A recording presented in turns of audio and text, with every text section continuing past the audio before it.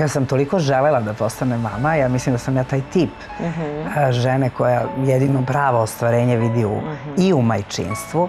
I da, to se ne da opisati, mislim. Prvo sam toliko želela to dete, pa nisam ni mogla od te pretarane želje. Danas znam da je to zaista tako, da u stvari ta psiha igra i izuzetno veliku ulogu, tako da ja to često ponavljam jer ima mnogo mladih žena koje imaju sličan problem iz ovih ili onih razloga i pošto se to nije dugo događalo, kada se dogodilo, možete zamislite tu radost i tu sreću. Ja sam čitavu jednu svesku ispisala, naravno to Uroš e, još uvek nije zainteresovan da vidi, ali možda će jednoga dana, posvećeno njemu kada se rodio. Zabeležila sam sve svoje misli, sva svoja osjećanja vezana za to njegovo rođenje koje smo toliko dugo čekali.